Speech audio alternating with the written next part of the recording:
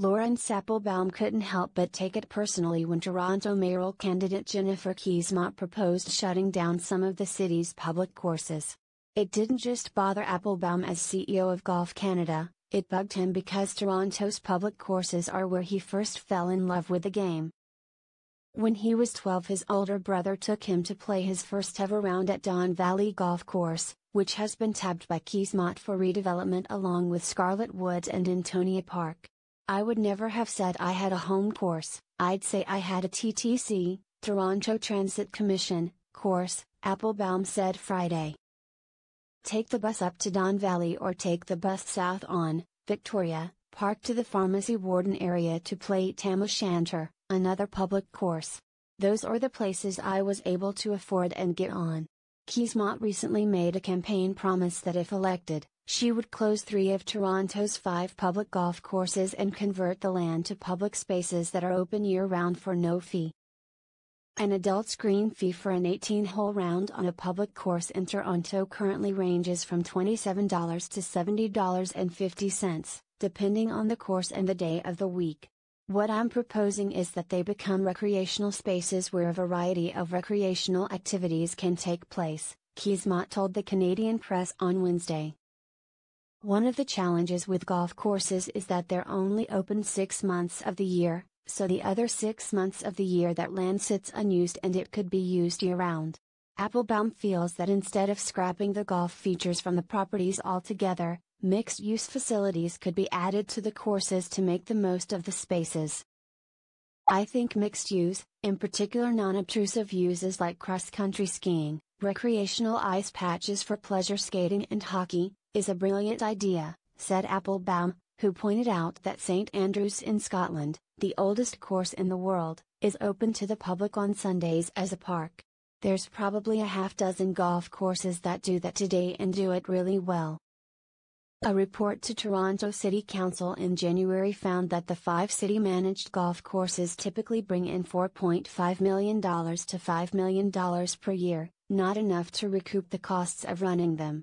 It also found that the number of rounds played at those courses decreased by about 15% between 2007 and 2016, from 187,000 to 157,965.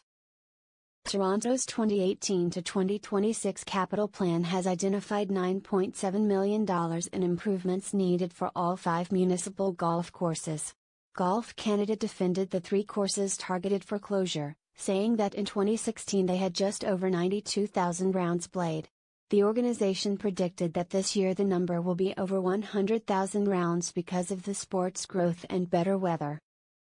Toronto City Council commissioned a review on all five of its public courses on January 31, with special requests made to look at equity and affordability of access, demographics of participation, winter access and use, as well as the course's ecological impact.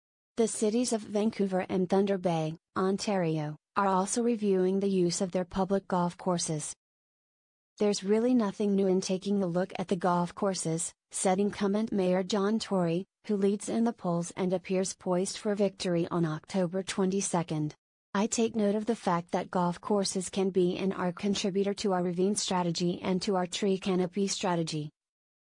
So I hope that when, Keesmaat, said that we would turn those into the highest and best use. She didn't mean condo towers. Keesmaat, who was Toronto's chief city planner from 2012 17, says she will not change the zoning bylaws for the three golf courses. She also thinks the issue doesn't need further review and instead wants to move to public consultation for what the communities surrounding the courses want instead of golf. The land use is recreational, I'm proposing that we change it from being golf courses to being more broader in terms of the public activities that take place there, said Keesmaat. We can put other kinds of amenities in place like bike trails and other things. It also costs a lot to maintain golf courses, it's quite tough on the environment. We can have a more forward looking plan that opens up these spaces. Canada has 2,298 golf courses, both public and private, and is second in the world behind the United States, 15,014.